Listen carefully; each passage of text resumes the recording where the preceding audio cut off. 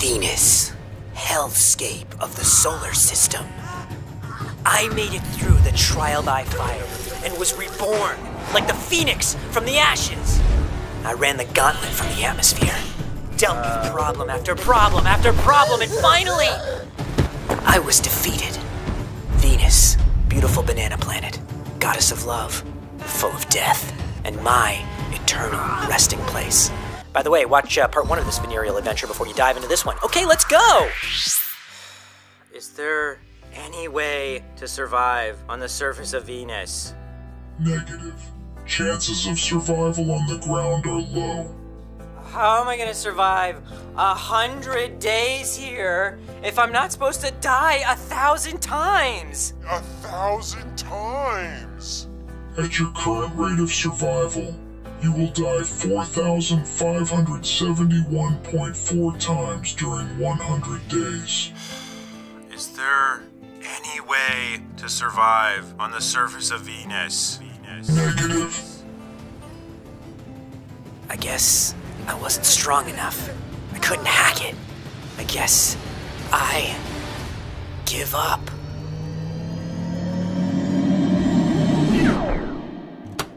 I can think of a survival option for you. Oh, yeah? Okay, spill it, Peter. Well, if you read the brief, you might recall NASA's Havoc plan. Yeah, uh, I think I'd remember a plan called Havoc. So, yeah, I read it. Well, it was in the brief. Yeah, that's what I said. I do remember the plan called Havoc, because I read the brief. But, uh, you know, there's people watching this who don't know what it is, so why don't you pl- explain it to them, tough guy? HAVOC stands for High Altitude Venus Operational Concept. In one word, airships, zeppelins. That's two words. Yeah, and here are two more Cloud City. Okay, that was too. You see, NASA engineers already studied all the challenges of surviving on Venus and came to a similar conclusion as you. Surviving on the surface is brutal. But to mitigate the heat, the atmospheric pressure, and the worst of the acid clouds, they thought, what if we just float above all that? Like in hot air balloons? Close, in solar powered helium filled airships and balloons. NASA came up with a multi phase testing plan. First, they test a robotic airship in the Venusian atmosphere.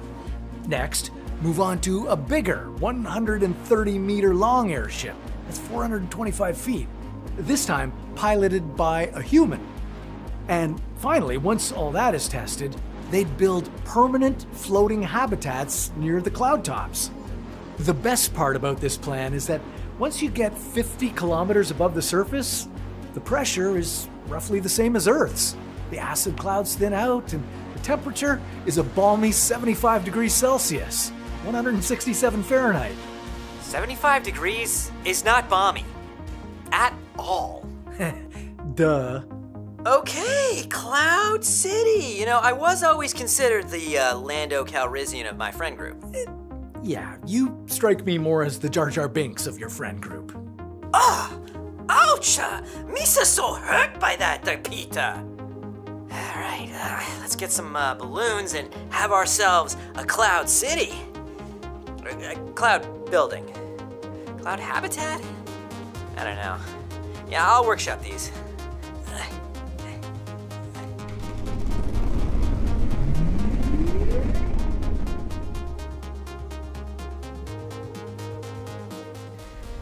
Okay, guys, I didn't see any suggestions on my uh, Kepler 186F video for what I should name my habitat, and uh, I need you guys to help me out here, okay? We're gonna name this habitat, and uh, I want there to be a vote. And to sweeten the deal, whatever name wins will be the name of every habitat that I build going forward, okay? And do not name this Habity McHabit Face, okay? I swear to space, I will find you.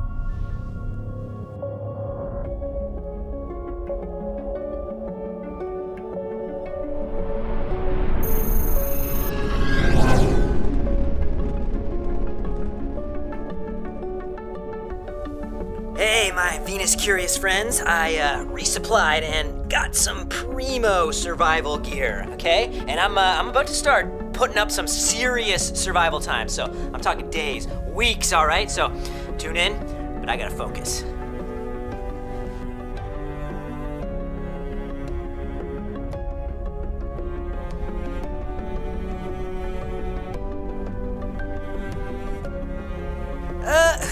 Venereal disease now, Peter? Check out that Zeppelin. That there is a fine Zeppelin, Chase. All right, guys, up next is designing my city. Getting the balloons working, building out the habitats. No time to kick up the feet, am I right? Rico, where did I put my footstool? I thought I had it around here somewhere.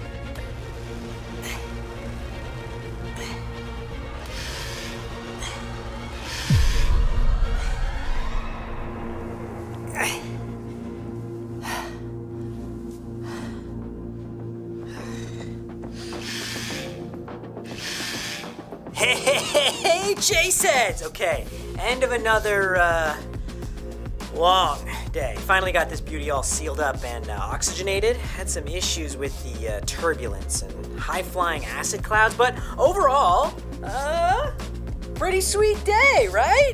You know, catch you guys on the flip. Nobody says that anymore. Chase, come on. Ooh, technically, it hasn't been a long day on Venus. What? I've been at this 24 7, Peter, and 24 7 means 24 hours a day, 7 days a week. Uh, yeah, but it doesn't. I'm just saying, Venus has a quirk where it doesn't rotate very fast. One year on Venus, or one trip around the sun, is only 225 Earth days, but one day on Venus, one full rotation, is 243 Earth days. So you've had a short Venusian workday. What? What what does that mean in sevens? Like, how many 24 sevens? Uh, I, I, I, I, I don't know how much that is. That doesn't, it doesn't matter. I'm here for 100 Earth days. Okay, Peter? Regardless of how many sevens that is on Venus. It's a big day. Let's not uh, ruin it with math. huh?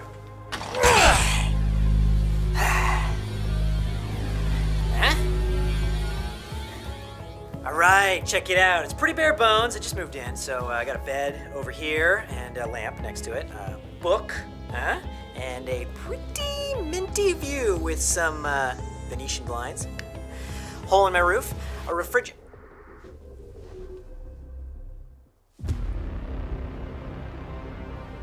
Rico, is that a hole in my roof? Affirmative. How, how did. Uh, this is brand new. How did I get a hole in my roof? Did you do any maintenance? No, I'm, I'm still building. All spacecraft in extreme environments require regular maintenance. Regular maintenance, according to Peter, it hasn't even been a full Venetian workday on Venus. Well, even at higher altitudes, sulfuric acid droplets eat away at materials. If you delay maintenance, you'll get a leak in the hull. Or worse. Or worse. Okay, we need to fix this hole ASAP.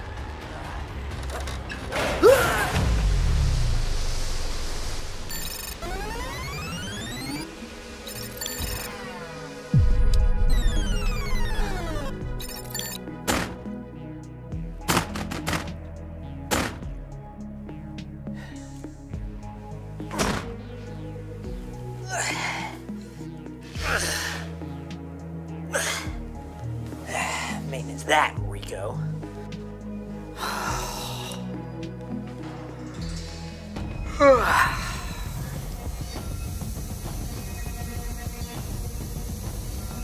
you hear hissing? God, I hate hissing? It appears it is coming from multiple hoses. Did you perform acid-resistant coating application on your main hose? Rico, that's personal. Uh, no, obviously I did not. That could be problematic. Oh, could it? Oxygen inside your habitat mixing with the sulfuric gases in the Venusian atmosphere can result in a fire inside your cloud's trailer. Okay, I'm checking it out. Uh,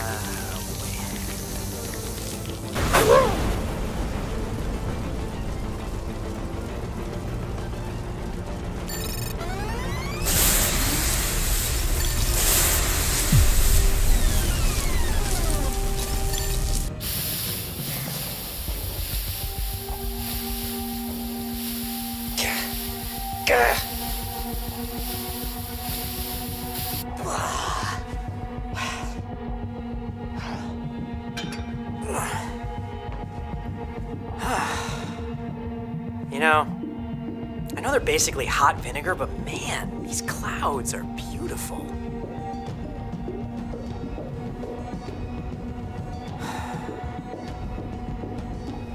Hey, is it just me, or those clouds like streaked with something, like like dirt? It kind of looks like it's got a smudge in it or something. It's not just you. Scientists have noticed dark streaks in the clouds, and they don't change much, even in high winds.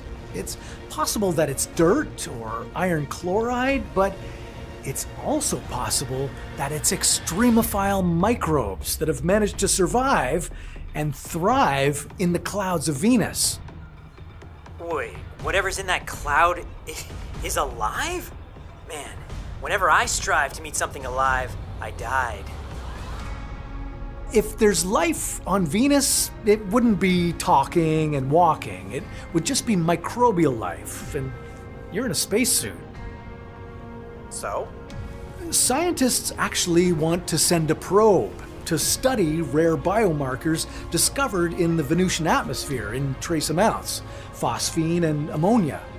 These two gases are only produced by living organisms or industrial processes. Now, maybe they're volcanic gases, but maybe they're microbes creating ammonia. Life. Yeah, cool. Um, those clouds are kind of getting a little close, huh? It's just a cloud.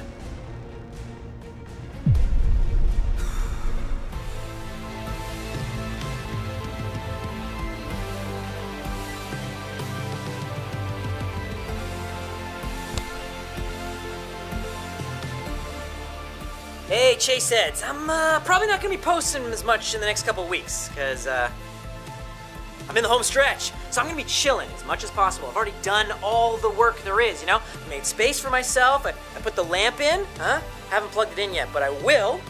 And, uh, you know, just gonna sit here, maybe uh, read the What If 100 book, right?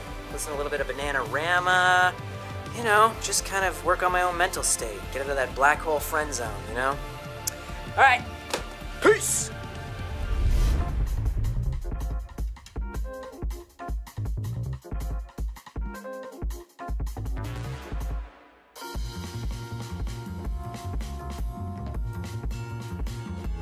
Oh, that makes sense. There we go.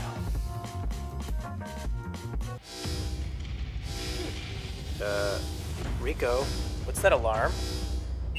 Inbound fragments of nearby asteroids, micrometeorites. Ugh. That's gonna be a problem, isn't it?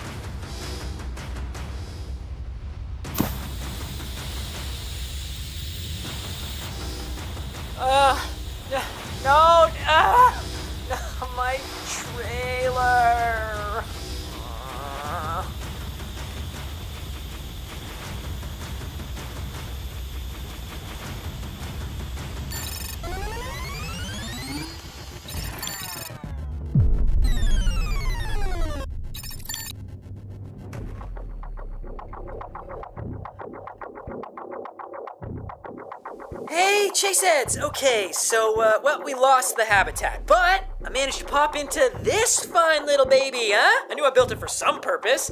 We are so close to making the hundo, so, I'm just gonna stay in here for nine more days. Ten days. Ten more days. Whatever.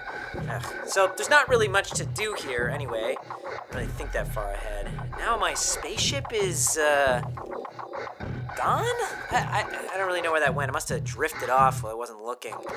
So, uh, I'm gonna have to go find that if I want to leave this hellhole.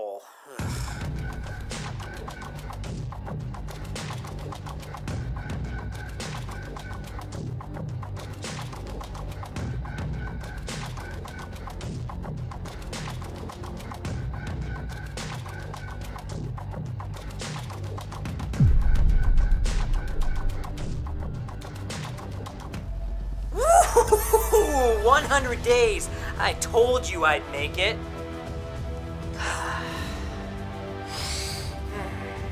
okay, so, Rico, let's leave this planet. Uh, we gotta, um, how do you do this again? Uh, Rico, ignition. Um, we aren't moving that fast. Is that a hiss? Affirmative. No!